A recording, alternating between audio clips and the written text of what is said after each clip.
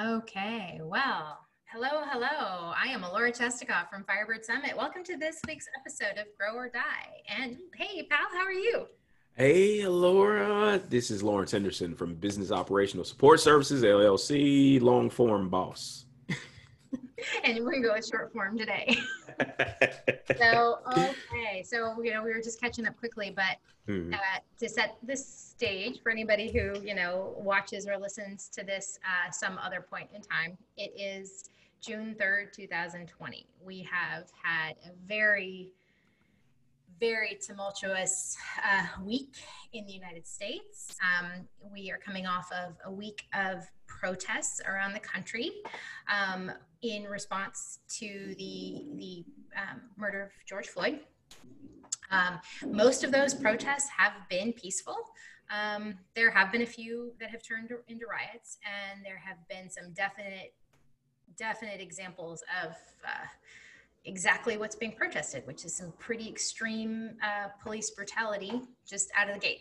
Um, and so it's it's kind of been all over the map. I think there's been an interesting set of responses, and you know, last week, obviously, you know, Lawrence and I talked a lot about you know a lot of this stuff, and it was it was a tough kind of place to start. So before we start, um, I want to kind of circle up and ask Lawrence kind of what his take on the last week has been before I pick our topic, because I have a topic that's kind of related to that, but also brings us back to some coaching stuff. So, uh, how you yeah. doing? Yeah, I'm doing good. Um, and thank you for just that simple question of how are you doing? Right. I think this last week, if there was ever a call for a heartful check in, it's been this last week. And that's where I'll leave that. Okay. It's been checking in. It's been important. Okay. Well, you know, you were making you were making a point about yeah. how this is kind of a really um, good opportunity for those yeah. who've been trained as coaches to really apply what we've been trained. Um, yeah. You know, I think there's a lot of inclination to react to things in mm-hmm. ways that um, don't always include the curiosity or the holding space yeah.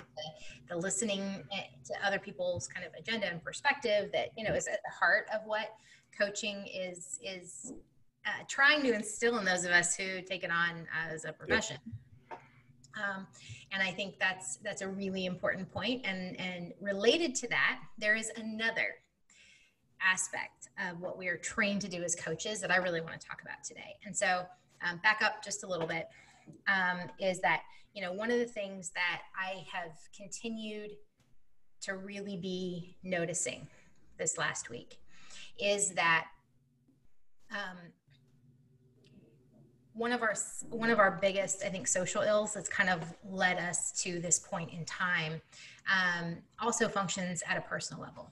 And that is that when when people are not or when people assume that they will not be held accountable for their behavior, it can sometimes, and especially over time, and especially once it's institutionalized, it can make it very hard to um, keep them behaving in a way that is consistent with the um, trust that is placed within them.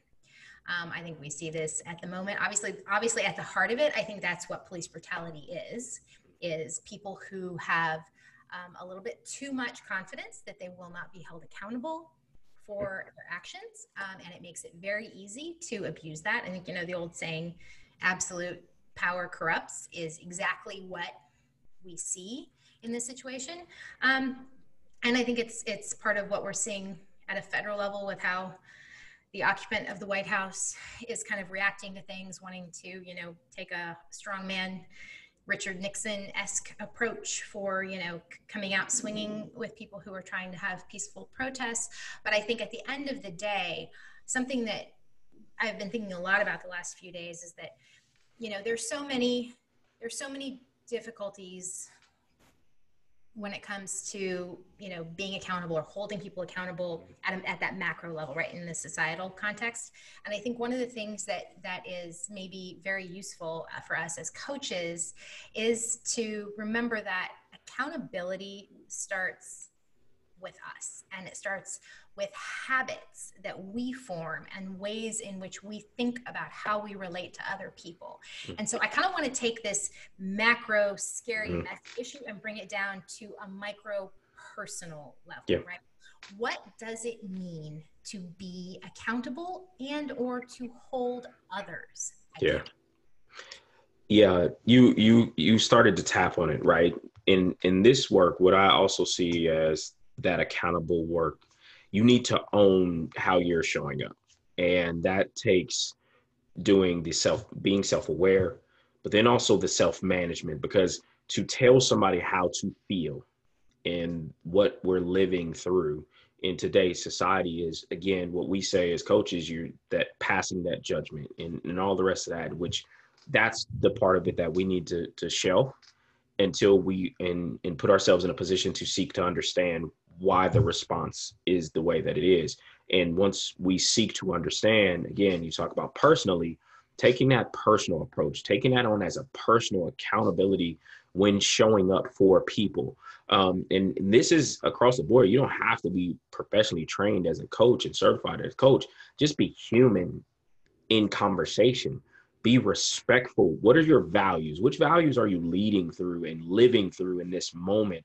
And and are you taking a defensive posture or a curious posture? And to you bringing that up earlier, I think that's really what the heart of it is personally. Are you taking a defensive posture or are you curious of how we can move this forward in a positive way, in a healthy way that gives us the ability, once we are operating in full blown authentic love and care and appreciation and value for each other, then we can start having the not I don't see color, colorblind conversation, but the color bravery conversation, because this is a reconciliation that needs to happen and continue to happen, and a conversation that can, needs to grow in its capacity. But how do we extend that to others? We need manage the expectation. I always say you train people how to treat you, and in this moment, you you brought up the systemic issue of somebody who can brutally overstep boundaries of humanity due to what their position or they believe their position allows them to do. That's like me as a former army officer, me and my soldiers, I know how we were trained for combat. And for us to come back home, go to our armory and say, you know what, because we know how we have this training, because we're full blown American heroes, we're going to patrol the streets of our neighborhoods because we've been trained and we're in the uniform and we're good to go. Like by carrying AK-47. By, yeah, by carrying air like M4s, M16s because we're trained and you you owe us that homage, right? We're we're going to police up our streets just like we do the rest of the world, right? To, that you would say you are crazy, Lawrence, for thinking that y'all could do that. Well, well, where is that same level of outrage towards people who have a slogan protect and serve and they're supposed to be a part of our communities and, and to laura's point like if you aren't just being human and watching what's happening like i'm really questioning people at this point. Like i'm really calling people out.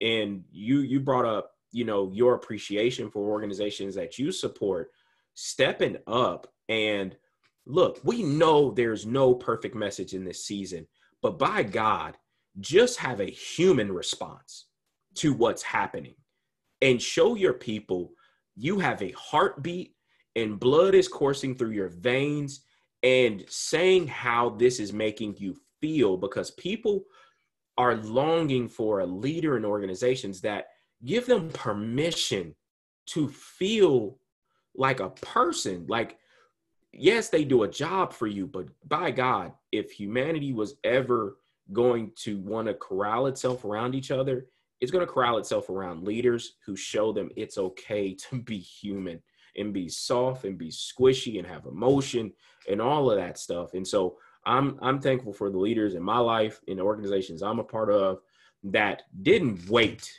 for the perfect press release, but they were thoughtful in the way that they messaged. They were intentional about the words that they used, but they were more than anything empathetic advocates of the moment. and said, I will stand with you.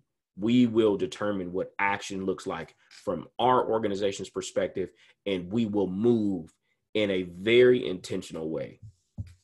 So what I like about that example is is that it's it's an example of people choosing to hold themselves accountable, right? One of and it's again like as I've been thinking about it this week, for me that's you know there there are two sides of this coin right? There is the i will hold myself accountable and then there is okay i'm going to maintain my boundaries and that means i'm going to hold somebody else accountable for when they violate those boundaries. And you know um, I, I have like these two totally hysterical kind of pop culture examples that i always think of on these two. So when it comes to holding my own boundaries and, and or sorry holding myself accountable um, there's there's this sort of like minor plot point in the Lord of the Rings that I think a lot of people overlook, where both Gandalf and Galadriel refuse to touch the ring. They refuse to take the ring from Frodo because they understand self awareness that they don't trust themselves with that kind of power, that they are afraid of losing control and even if they're trying to do good or do something well that that much power is dangerous. And they understand enough about themselves that they do not want to put themselves in a position to violate who they want to be by allowing themselves to be tempted into the abyss. And i love that example um, because it really is. There are places where we have to make choices about this you know? You you alluded to the organizations right? There's there's a client that i work with and have for you know quite a while. They're a publicly traded company. And yesterday an email went out from the president that started off with opened up with black lives matter and there is an important racial conversation that needs to happen in this country. And you know we're supporting our employees listed all the things they're doing to support employees including everything from helping um, you know pay for the hourly wages of frontline employees in cities whose locations have had to close because of riots um, paying them anyway uh, to starting con- um, unconscious bias training to starting webinar series to bring people together and have conversations. The first webinar was last night and you know after a week of just wanting to cry every time i you know read the news or looked at something online it was it did make me cry, but out of like real, genuine, like gratitude. Like the, the webinar opened up with the CEO of a publicly traded company, practically in tears, talking about how like this is unacceptable and we're just at a point where this is just not okay and that as an organization they don't feel that they have um, the the luxury of staying quiet um, and that they are they pulled in they pulled in four speakers who are from all over the country all over different employees of different levels. Two of them were people, or sorry, three of them were people of color, and one of them was a white woman with a black husband. And all of them were talking about consistent, you know, stories and experiences of, you know, how do I, how do I protect my six-year-old child from seeing this video? Because like I, I don't like that's not, it's not an okay. First of all, I mean, it's like a horrible thing for anybody to have to watch. But if you have a if you have a six-year-old child of color who's hearing about this who's like how do you how do you have that conversation with a child that young? I mean it's hard enough as they get older but like at that age. And so it was a it was a really amazing conversation you know then we're then they were talking about other examples of you know these these professionals who drive home from work at night and you know get tailed by the cops or who have you know police officers show up at the pull them over and then a police officer show up at their at their car window with the gun already drawn not even waiting you know? Um, one one of the gentlemen has a white wife and was talking about how he was coming home from his in-laws house one night and you know the cop showed up at the passenger side where his wife was sitting with his gun drawn saw his white wife and put his gun away. And he kept thinking what if i'd been by myself? Like you know? And it was and part of what was really fantastic was they were creating a space to have these conversations and people were asking each other questions and they were it was like it was a very it was the example that we would want to see of high integrity leadership you know? And it was yes there are tangible things they're doing. They talked about the money they're donating to to racial justice organizations and and they're talking about the community stuff they're doing changing in some of the their public messaging and marketing and things like that but simply creating this space and recognizing that they're holding themselves accountable. One of the things that was really that i especially loved was the ceo came out and said look we do a really good job out in the field and in our locations of, of hiring with a lot of diversity promoting within those locations. What we have not always done a good job of is that next level and into the corporate level. So my commitment to you and what i am holding myself accountable for to you is that we are going to make a more concerted effort on that and that is going to be a priority for us for the next year. And so again that's like one of those like you know moments where you can hold yourself accountable and you can make the case for why you have come to recognize that you haven't necessarily been great at it in the past and you are now looking at it with a different perspective and recognize that you have something to do. Yeah. I think I think what what people need to truly truly embrace now in this season is it, we always used to use these quotes as as these rallying cries for development, but failing forward, right? Like we have enough trips and falls along this road of of social injustice, of having hu- humane conversations around policing, over policing, or the you know excessive use of force and all these different conversations and i think now uh, my hometown uh, columbus ohio um, just read a linkedin article today that they have the city has written in racism as a public health crisis in the city of columbus and are moving towards listing police brutality, over policing, all of that as a public health crisis to lead towards social justice reform. And again, what are you doing as it pertains to being accountable? Because I think a lot of times, well, I'm gonna do my part. Okay, what does your part look like? What does that lead to? And again, some of the things I'm doing from an accountability standpoint is I'm not allowing people to silence me and that includes me and my gremlins of how I have processed the trauma in my life from being a black man in America, being a veteran, I, I, a husband, a son, a brother in this, in having my stories of that same trauma and being quiet about it. You know, at sophomore year at college at a church convention, Alora, me, my brother, some cousins, some friends, in three piece. We look like a pack of Skittles for a church convention. And we are literally getting profiled and got stopped by the cops about did we shoplift from a store when we a bunch of young men getting some gum because we going to the teen and youth service because we at a church convention we literally look like a pack of skittles and you're following us and it was and it, i didn't i didn't even know and crazy part, I just got back that from basic training. I just got back from basic training that summer, and I I was pumped about this church convention, and I'm like, are we really being followed by the cops in three piece suits? Yeah. Like, but it was, what are y'all doing? We're going to the same place all the rest of the you see these people in church clothes going to this convention center across the street. Like that's where we were. We were across the street from the convention center in church clothes. Like people people get dressed up to go rob stuff. I, that's a new one, right? But but that's simple. But again, just the mental state of something like that, just to have those example after example.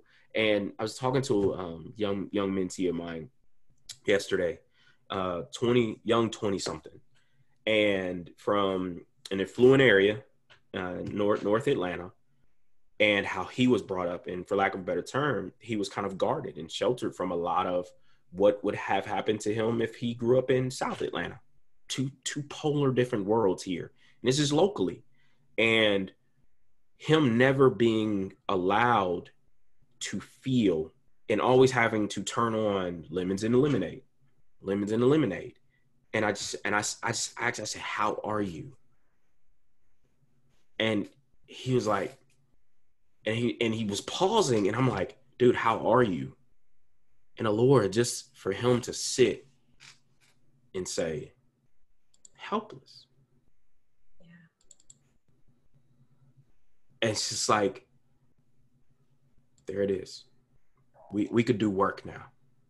Now that you put a name on it, now that you know where it's coming from, let's do work. And and to your original point around coaches, like we coaches were built for this moment.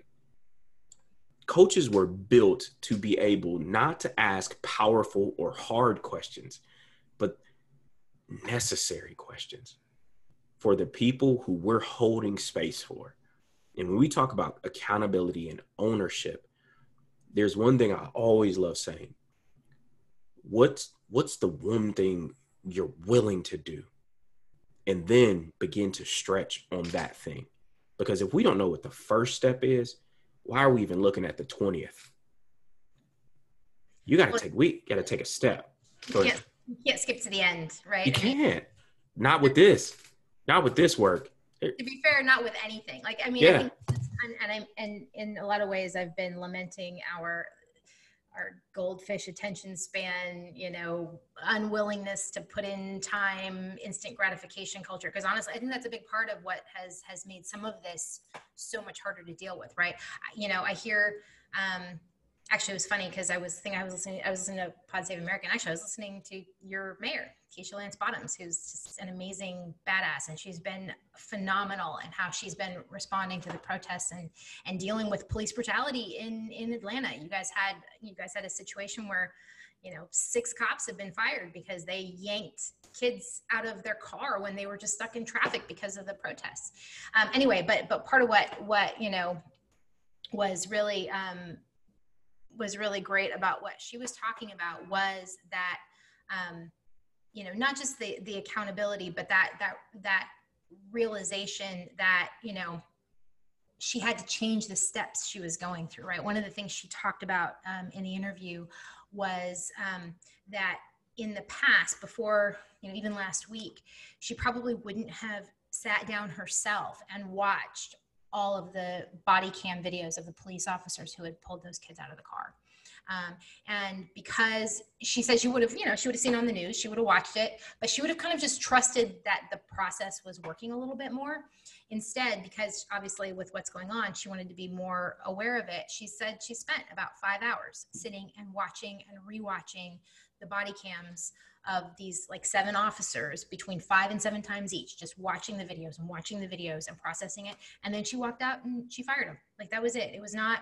And and part of what you know she was also talking about is like she's a mother of four. Like she's you know talking about how how is she supposed to again it's back to how do you have this conversation with your kids and neither you or i have kids which in a moment like this um, kind of makes me super grateful because i like it's such a heinous conversation even contemplate trying to have. Like when i was you know i i like it's uh yeah like it's just it's just such a horrible it's such a horrible thing to try to figure out how do you have a conversation with kids. But i think what i liked about what you know what mayor bottoms was talking about was that you know there are a lot of steps that can be taken but we also have to like stop like come back regroup look at it again and then yes come back to an accountability structure and, and what what is it that we are going to hold ourselves accountable to? But then that brings us to the other side of this equation right? Which is how do you hold other people accountable right? And this i think is super super entwined with boundaries. It's super entwined with a yeah. lot of stuff. There is a very big difference on a personal level like you know like spouses versus you know once you start dealing with institutionalized power. So part of what i, I actually again what I keep kind of seeing when I look around is that there are so many, you know, again, one of the things that, again, on that interview was, well, you know, voting doesn't matter. You know, I don't see it helping. And it's like, well, if that's, that's, that's the mechanism for accountability in a democracy. Now, there's plenty of arguments to be made about the fact that our democracy is suffering a lot of damage and, and is in serious jeopardy for a lot of reasons. But, but fundamentally, voting is the accountability mechanism that we have most available to us within the context of a democracy. So, if we take that down to a personal level, you know, again, another pop culture story. And I love this one because this one is, um, um, I think, really telling. So, uh, on an episode of early, on an early episode of Red Table Talk, uh, Jada Pinkett Smith was talking about how um, when she and Will first started dating, uh, they were they were out one night at friends and it was like the first time they got into a fight. And uh, it was very early in their relationship. And she started cussing and calling him names and whatever. And he like yanked her in the other room and said to her, I will not be in a relationship where we talk to each other like this. If you are not willing to find another way to express your anger, then we're done right now. And when she tells this story, it's really phenomenal because she talks about how she was gobsmacked that he did that. Like she had been coming from a series of relationships and places where that's just how you got into an argument with somebody. You you cuss at them, you call them names, you scream and yell, you throw you like you and like and the fact that he was so clear about his boundary and that he made it very clear that he was going to hold her accountable to that going forward and gave her a choice. And this is this is the choice. I will not allow myself to be pulled into this. And part of what and, and, you know and it's and it was great because she talked about the things they've done over time to kind of work through their communications. But what i love about that example is i think so many people struggle with how they hold the people in their lives accountable. And if we take out of the equation extra complexities like addiction and stuff like that, where it's very like trying to hold somebody who's got an addiction problem accountable is a whole different kettle of fish. But like the people in our lives, you know, there's so how many people do we have in our lives who really shouldn't be in our lives? And we're not holding them accountable to their behavior. We've either compromised our own boundaries so many times that they they just think it's okay to steamroll us or we've given voice to our boundaries and then we've just not held anybody accountable to respecting them. And i think this is something that if we can't figure out how to do this at a personal level it becomes really really hard to expect people to do this at a macro level. So i want to talk about it at a personal level. How how do you start to hold the people in your life accountable?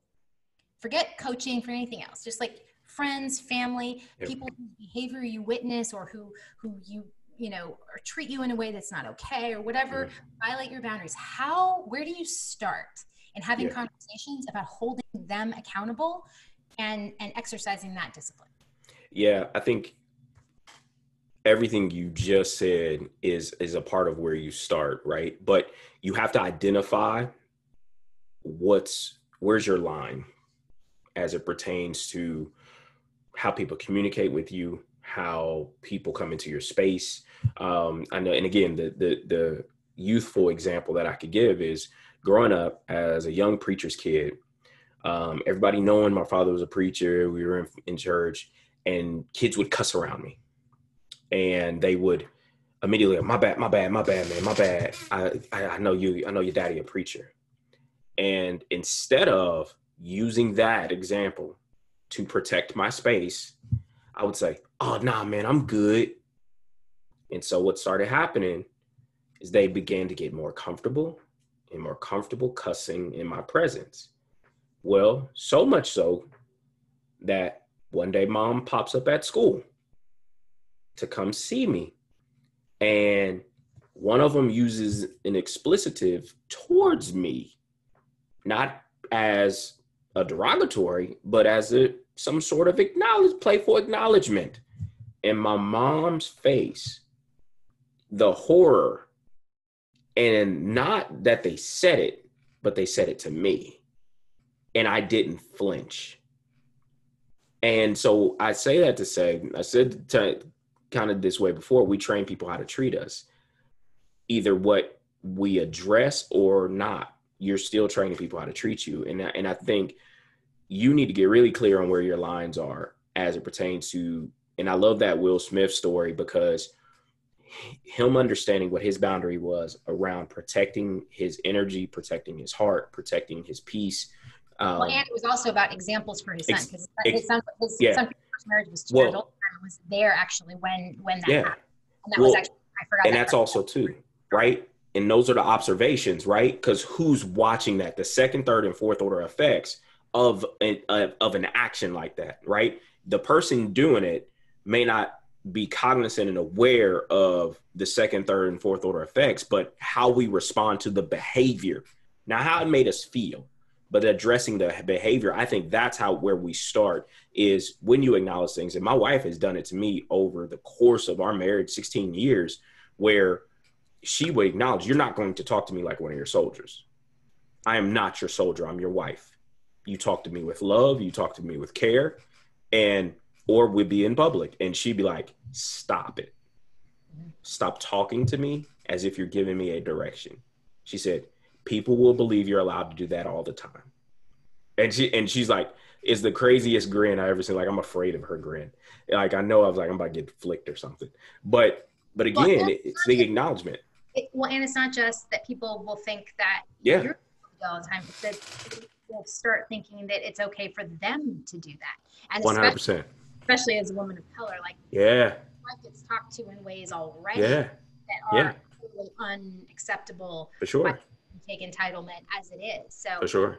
That she definitely doesn't need, you know, you inadvertently yeah. piling it on. Yeah, because of my because to your point, if somebody sees me do it to her, and then they have and, and again, why would I say they have the gall to do it to her? Like you just told them how to treat her. You just gave them an example of how to engage with her. And so I think people being mindful when they're with pe- with their audience and again catching themselves and I think that's where we start, right? Again, I go back to the heart work and the head work and the conscious ways that we're walking and living on a everyday basis. This is a marathon in in getting this to become a habit for ourselves. Um, because again, practice doesn't make perfect, it makes permanent. And so if you've been practicing the wrong way for so long, then again, there's going to be some recoding that you have to do, and you got to begin chipping away at this thing. Um, it's not going to happen in a day. You just got to keep practicing what right looks like. And again, having people in your circle, strong people that you allow, that you give them permission to call you out when they see behavior that is damaging and disparaging and checking your ego to say, you know what, you're right. And I've, man, the host of people I've given permission to to check me, I love them to death. You know, I love, I love that saying you just, you just use practice doesn't make perfect, it makes permanent. And I think that's really, um, that's really important to remember. I also think it reminds me of of actually what you were something you mentioned a week or two ago, which was when we were talking about how um, how to deal with um, people who, re- who are having like a reaction to stop and ask right? Don't just blow through it. Don't just you know continue on through. And i think this comes back to you know using your voice. This comes back to not you know giving yourself permission to speak. It also comes back to holding you know people accountable. You know in that example that we were talking about if i say something that you know you have a reaction to i have two choices. I can either try to move on or we can stop and address it um, you know, sometimes the person who's having the reaction isn't necessarily going to be the one who's aware enough in the moment to stop, in which case then it's back to, all right, so to your point, am I teaching them that I am just going to ignore them when they get emotional? Am I teaching them that, you know, they can be volatile and maybe disruptive or maybe disrespectful in that process or just you know completely withdrawn and that i am not to acknowledge it. Like that's probably not helpful. And now admittedly you know you know you got to pick your battles because you're not going to get into every little nuance of detail with every little person that you ever come into contact with. But you know to your point that some people matter more than others in your daily life. And you know if they you know choose to behave in a way that you're not okay with you have to decide if you're going to stop and raise the issue or just try to blow past it and you know hope like hell that it just doesn't come up again. Because yeah. hope ain't a strategy man. At all. Hope is not a strategy. It's never a strategy. Uh, and I, I like to say even as it pertains to how do we instill good behavior is the other part of not assuming people that we engage on a daily basis have been shown another way right? And go if we go back to the practice makes permanent comment i made when we talk about the rioting and you address that's that's the result of something that's been practiced over you know that that ends up a action in their life. And i'd say particularly to the youth right that parents, if you're listening, aunts, uncles, cousins, grandparents, if you're listening, grab those youth and really seek to understand because my wife as an educator teaches in a disparaged population they don't have access to resources to mentors they're in a part of atlanta where they got everybody shows up to give them programs but it's not consistent with where they have to go home and what they live with and what they are exposed to on a daily basis. So if really if that comment is really true, practice makes permanent. What are they allowed to practice more often than having to be good in a classroom? That's why crime goes up in these areas in the summertime. Is because practice makes permanent. Like they're practicing what their world looks like. And so they're easily pushed in a direction that seems familiar chaos. And so until we're in positions and we're actively in the game as players to show them there's another way, it's all about access and then giving resource and equity to be consistent and disciplined in the way that we engage our communities. And I think that's also too is what's really going to come up in this is are we really going to put money where our mouth is as it pertains to teaching and giving people access to a better way of processing um, the way that we feel? Because again, that young man I described, I know for a fact he could have easily been somebody who was torching a building, breaking a window, um, stealing something because it was opportune situation, but he wasn't exposed to that so he knew there was another way to process this and he stayed home. But how many of them I processed chaos my whole entire life, so I'm gonna go I'm gonna go be chaos. Yeah. Right? Well, so I mean so again, I, this is that's actually part of what I really like about yeah. You know, Jada Pinkett talking about yeah. that time Will stopped her because like she didn't she didn't actually know another way to have an argument with somebody that you supposedly love. Like she, from her perspective at that point in her life, and this is why telling her telling yeah. the story now is super, super powerful because she recognizes how how flawed that was, and that she was set. She was really kind of you know on a one way on a one way road that wasn't going to go anywhere good, and that it, it really was a pivotal moment, not just for their relationship, but for her personally to actually recognize that no, there's actually a very different way that you can approach this that's not as inherently destructive to the people around you as well as ultimately to yourself.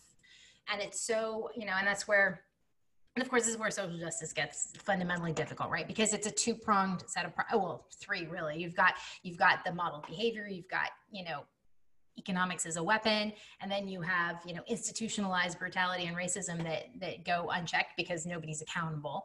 And so you can't you can't solve the problem by only you know hitting one of those levers. It's got to be you've got to work through all of them and it's which is why it's i get why you know the young woman in that in that interview is saying that you know voting doesn't feel like it matters. I i, I get why it feels that way because it's it's a big big issue that has not gotten any better certainly not in her you know fairly young lifetime. Like it's not it's just she's watching it get worse not better. So i get why that feels that way. But on the other hand you can't expect results when you don't put in the effort right? You're not going to go try to run a marathon tomorrow if you've never trained like it's not and and to your point all of this is a marathon like all of it. Pick pick one. I, I mean marathon's like the best metaphor i can think of for all of this stuff right now. And and you got to start somewhere. Yeah, I think I think you you you bring up a fundamental way to approach all of this is there needs to rise to the occasion leaders in every one of those lanes. It's like a track, right? Stay in your lane. But where you feel led to get in the game or get in the race, stay in that lane because but then it's it's almost like the the pacer right of a marathon there's the pacer and he keeps the group together right to give give them a good pace and what's been happening is it's been more like nascar right? You got the pace car, but then as soon as the pace car is out the way, everybody get boom, right, and every, and not think. I, li- I like the, I like the NASCAR uh, reference only because there's also a great redneck factory. Right, it's great, great, right, and I, I, I slipped that in, but um, but in in that the pack and the race they stay together, but what we see in the world is the NASCAR race where everybody's jockeying, trying to get forward, and who's going to be the lead car, and where we need a race in a, a folks that know I know what I'm good at in this race. I'm going to stay in that lane, but I need a group of people that are going to back me in that lane. And but we need to pace with each other. We don't need any part of the program to outpace the other. Right now, when it comes to process and what needs to go first, when it becomes signature time or whatever, because of the way our democracy is built, then then let that be the thing then. But I think getting to the line, we all need to be there at the line. And then again, all right, you're next. You're next. You're next. So it's not taking, all right, this lane, it takes you three years to get there. All right, that next lane, it takes six years to get there. And next thing, it takes 20 years to get there. No, we need to fight, we figure out where our leaders are and who's going to pick up the mantle in each of our lanes. And then we need to run as a group. We need to pace ourselves, right? We don't need to outpace ourselves and have more energy over here than energy over here. And again, it's going to take us all to get really strategic about where we fit as players in this game, right? Just don't try to look for a game to play in. Look for a game that aligns with your values, what you want to see in the world and how how you could show up fully get involved in that movement to support this thing because everybody every everybody is necessary in this in this race so i think that's a great a great point and i think it's really um you know back to our our you know it's it, we're coming up on five o'clock there are plenty of you know protests around the country already you know the ones that the violence definitely decreased last night overall. Um, so hopefully that trend will continue. But it's usually, you know, after it gets dark that things start. Um, and so on the East Coast here, we're, you know, coming into that time zone now. And, you know, one more evening of watching the news and seeing how things, you know, play out, seeing which cities stay peaceful um, and which cities, you know, don't look so good is I think, you know, a very there's it's like this deer in the headlights kind of exercise to some extent. And i think it it makes it hard to feel like there is something that we can do. Um, and so i'd say that you know keeping in mind that there are different ways to approach this is is probably really really helpful right? You know again it could be that you know your focus is on stopping you know police unions from negotiating with cities to prevent cops from having any kind of oversight you know or it could be that your preference is you know working with kids who maybe do come from homes where they're not seeing you know behavior that's going to be conducive to their longevity modeled at home and they have to see examples someplace else. Or it could be it could be any number of ways to tackle the economic crime. It doesn't it, i don't know that it matters what it is as long as it's something that you feel like you have some staying power on because again we're back to it it is a marathon it there's nothing about this that's going to be solved quickly. Um, but i think the other the other aspect of it is that you know one of the values and this is i think a general um, benefit to social justice movements of any of any flavor is that once you start getting involved and you start meeting other people who are passionate about what you care about and who are trying to make a difference in that arena it's sometimes the sort of sanity saver that we need to stick with it on days when you just wake up in the morning and look at the news and just want to cry and go back to bed community that's what we all need it is, and and I think I think that's the other thing that's really interesting to me about right now. Right, is I, there's been so much um, disproportionate pain inflicted, economic dis, disproportionate economic pain, well, and and health pain too. Yeah.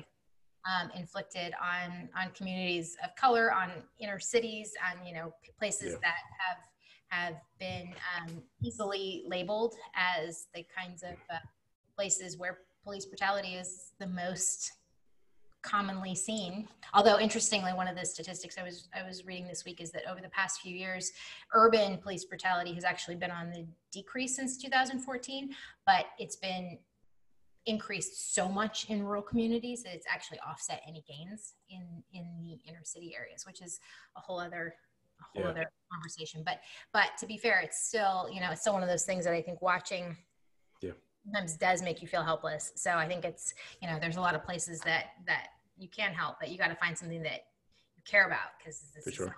Solved soon, and you really need that gas in the tank that comes from finding other people and building some community around that, and especially after you know sheltering at home or being isolated for yeah. 10 to 12 weeks or however long some of us have been and you know feeling disconnected from the world i think it's it's really telling that you know this is where we where we land. Yeah. All right. Ready to ready to dig in any last thoughts today pal yeah just um just around you know really decide if you're going to be a player or a fan Okay. Well, I guess my last thought is some people are not willing to hold themselves accountable. And if your boundaries are important to you, then you have to make sure that you're prepared to hold them accountable. And uh, at a personal level, that can mean one thing. At a systemic level, yeah, I know our democracy is very broken, but guess what? Voting is how you do that. And while I'm on a voting plug, people like to focus on presidential elections. But the kinds of things that we're talking about being most directly impactful here is local stuff. It's yep. district attorney, it's police commissioner, it's yep. It's local stuff that happens more often than not on off presidential years. So if you mm-hmm. only ever show up to vote when there's a you know presidential election, you're probably missing some amazingly important opportunities to help secure your community. Yep. So, yeah. all right, that's that's my PSA on the on the voting front. But all right, thank you so much. Appreciate you. And I appreciate you too. I'll talk to you soon. All right. Bye-bye. Bye.